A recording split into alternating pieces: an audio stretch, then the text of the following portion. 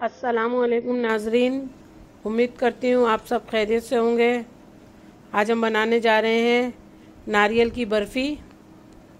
इसकी तरकीब बहुत आसान है। हम एक पैन पहले चूड़े पे चढ़ा देंगे। चीनी मैंने ली है एक कप बिल्कुल लेबल करके।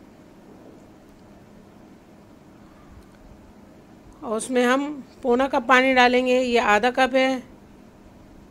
और ये आधे से भी आधा कप है। पौना कप हमने पानी डाला है इसमें। अब चीनी को हम पकाएँगे, कि इसकी चास अच्छे से बन जाए। चीनी को मेल्ट करने के लिए मुसलसल आप चलाते रहें।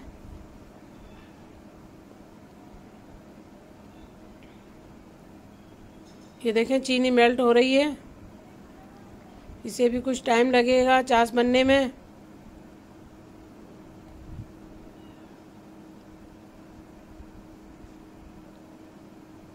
ये देखें, बिल्कुल बेहतरीन चाशनी तैयार हो चुकी है। ये मैं आपको दिखा रही हूँ।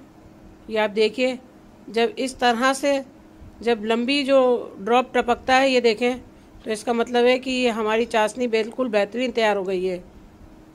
ये देखें आप। ये इस तरह से ये इसका तार बन रहा है और इससे ज़्यादा हमें नहीं बनानी। एक कप मिल्क पाउडर लिया है हमने, ये भी लेबल करके लिया है।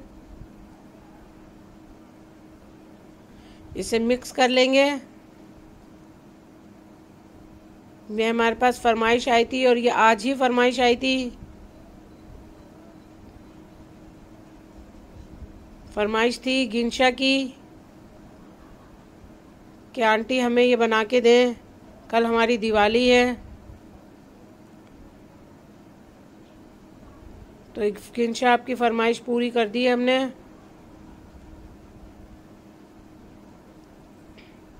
ये दो कप नारियल लिया है हमने।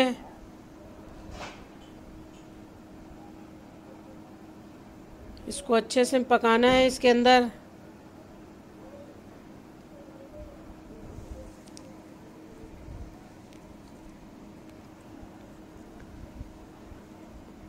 बहुत कम अज्जा है इसके अंदर, और ये झटपट बनने वाली है।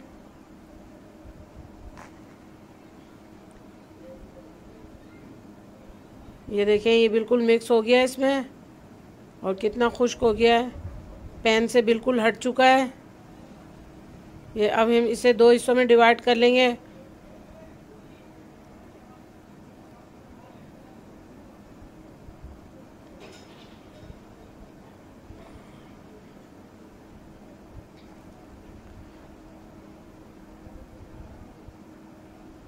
ये इस तरह का सामान है कि घर पे तैयार ही रहता है। ये देखें, ये दो जगह मैंने अलग अलग कर लिए अब इसे हम गरम गरम को ही सेट करेंगे। ये एक बाउल के अंदर मैंने ली है, ये सीधा बाउल है, तली से। ये देखें, इस तरह से इसको हम दबा दबा के बिल्कुल हमवार कर लेंगे। किनारों से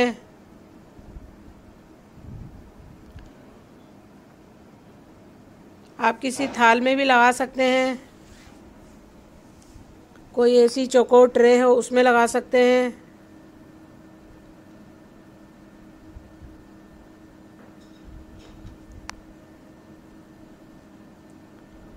इसकी किनारियाँ सही कर दी है मैंने। अब ये जो दूसरा हिस्सा है, इसमें हम ये रेड कलर का हमने फ़ूड कलर लिया है। रेड कलर है, आप किसी भी कंपनी का ले सकते हैं ये। मगर अच्छी कंपनी का लीजिएगा। ये तीन ड्रॉप मैं डालूँगी इसमें, रेड कलर के, इसलिए कि ये पिंक कलर बन जाए। अगर मैं ज़्यादा डालूँगी तो ये रेड कलर में आ जाएगा। इसलिए मैंने सिर्फ़ तीन ही ड्रॉप डाले हैं। इसको बिल्कुल अच्छे से मिक्स कर लें। ये देखें, ये मिक्स हो गया है। अभी ये गर्म है, ठंडा नहीं हुआ है।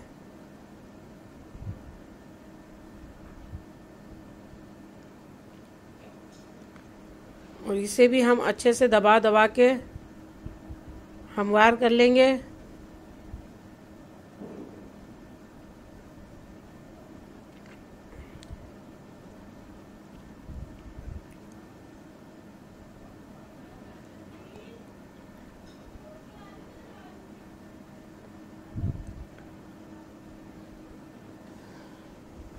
आप हमारे चैनल को लाइक कीजिए, शेयर कीजिए, सब्सक्राइब कीजिए और वीडियो शुरू से एंड तक देखा कीजिए ताकि आपको बिल्कुल सही समझ आए।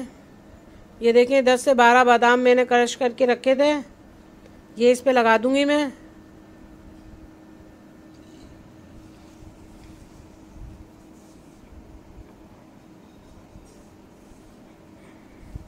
ये आधे पे लगाए, मैंने आधे पे नहीं लगाए। क्योंकि बच्चे बादाम का नहीं खाते हैं, इसलिए। ये सिर्फ़ आधे ही तरफ़ मैंने लगाए हैं।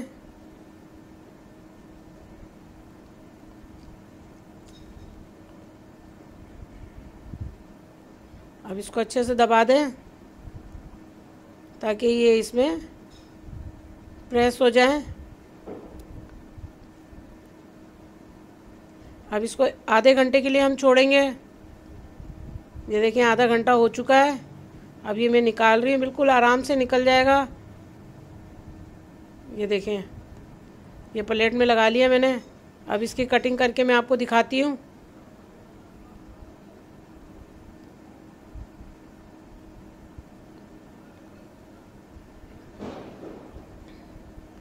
ये आप अपने घर में ज़रूर बनाइएगा इन आपको पसंद आएगी।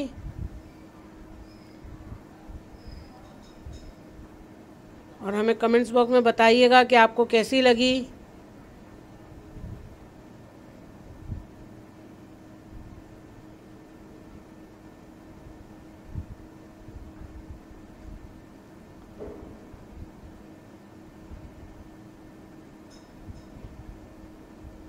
ये देखें दो कलर में बनाई है हमने, ये देखें।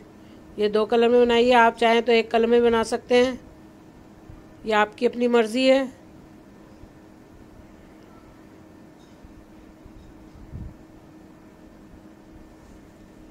हमारे चैनल को आप लाइक कीजिए शेयर कीजिए सब्सक्राइब कीजिए।